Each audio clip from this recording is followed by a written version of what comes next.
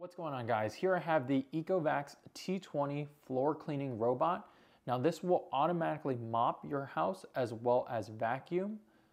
The vacuum has an auto empty dustbin with multiple months of storage and the mopping feature has a clean and dirty water tank so you don't need to clean it each time. It also has hot water mop washing.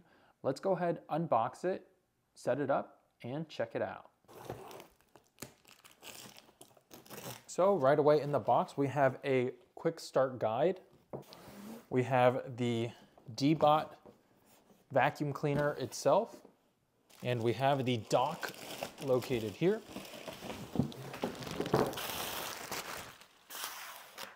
Pushing the button on the bottom here releases the auto empty dustbin.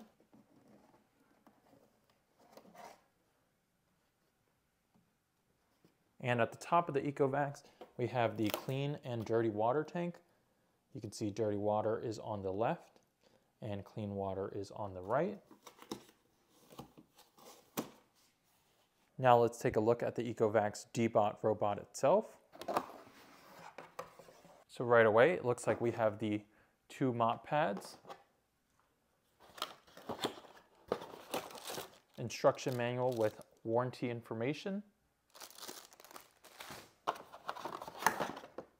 Power cord for the dock, cleaning brush for the robot, the side bristles,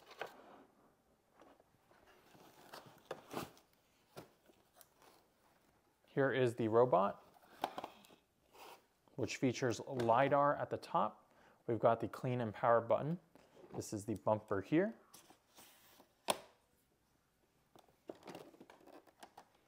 Sensors along the side, front, and other side.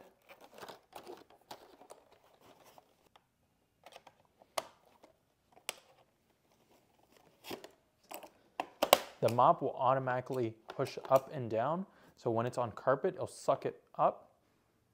And then when it's mopping your hardwood, it'll go ahead and push it towards the ground.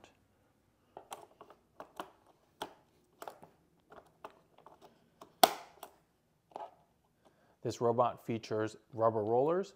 These are better for uh, long hair so it doesn't get tangled into the robot. Let's go ahead, plug in the dock and set it up. So to set up the Deebot, we're gonna plug in one end of the power cord to the rear. We can route the wire along this channel, and then we simply just plug this into the wall. And now we take the Deebot. These are the rear contact sensors for charging. And we're gonna go ahead, push it into the dock and let it charge. And while that's charging, I'm gonna go ahead, grab my clean water tank and fill it up. So to fill up the water, we simply just fill this tank here to the max line and reinsert this into the robot dock and go ahead and close the lid.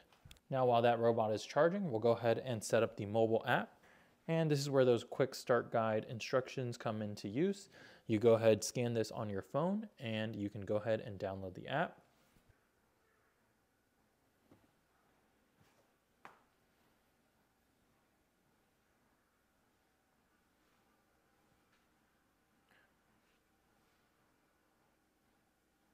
We'll go ahead and create an account, agree to the user agreement,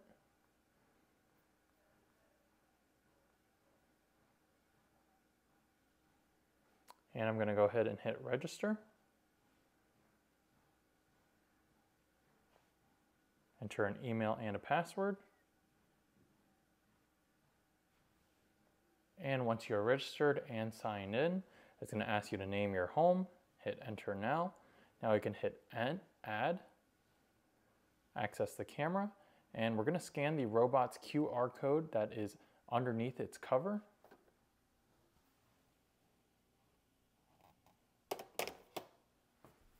It's going to ask us for our Wi-Fi password. Hit next. And I've switched on the robot. Hit next. Briefly press the reset button for one second. One second. Ready for network setup. Hit next. Yep. join the Ecovacs Wi-Fi. Connected. Please go back to the app to continue the setup. Okay, name your robot, hit next. Enter your time zone. Hit enter. And we're going to go ahead and update the robot. I'm going to allow automatic updates. Back to station.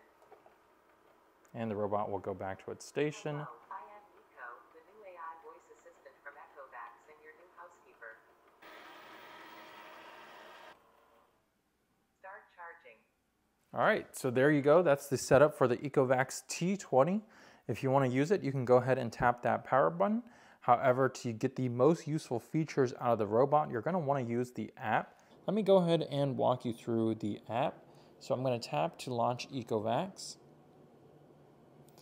And if you tap on auto cleaning, it'll automatically just start cleaning um, using its auto features. Recharge will send it back to the dock. And if we hit enter smart cleaning, we can find all of our settings and configure the robot.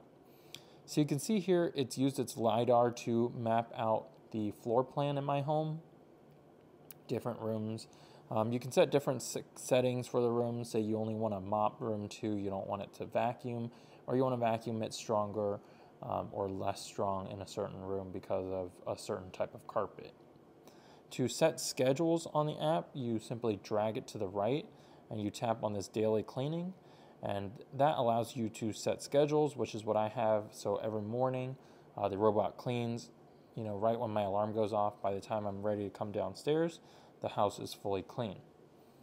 Tap the play button to go ahead and start the robot. Station features tells you about the clean and dirty water tank, as well as, you know, you can tell it to clean the mop pad, empty dustbin, um, and you have your hot air drying, which is turned on right now because I used it earlier.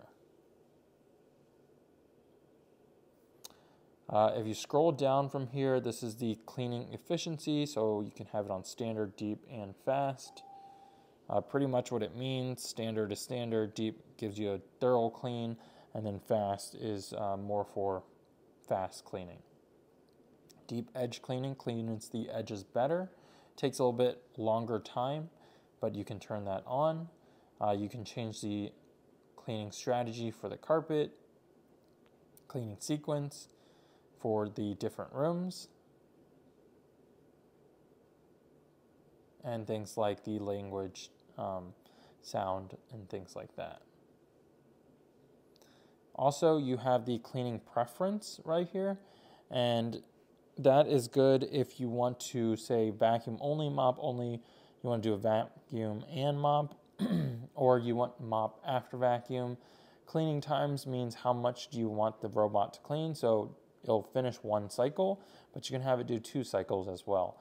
Uh, you have the suction power here, and you can set it to max. So that's pretty much an overview for the app. I'm going to go ahead and start the robot and show you guys it in action. Hot air drying completed. Start cleaning the whole house.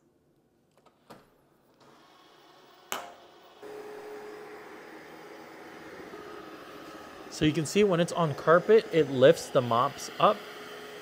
And here it's going on to hardwood.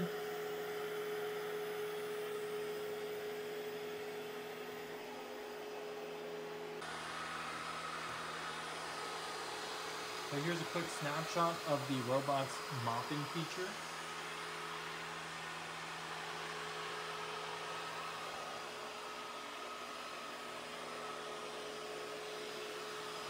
And you can see here's the water. It does a pretty good job at cleaning.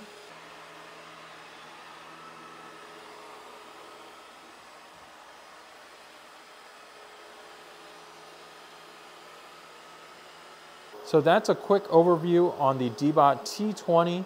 I will be doing a thorough review of that one there versus the Roborock Q Revo. So stay tuned for that. Um, at first glance, I do feel like the T20 does a better clean. The user interface is not as good, but if you are just buying it for cleaning power, it does seem to marginally be better than the Q Revo.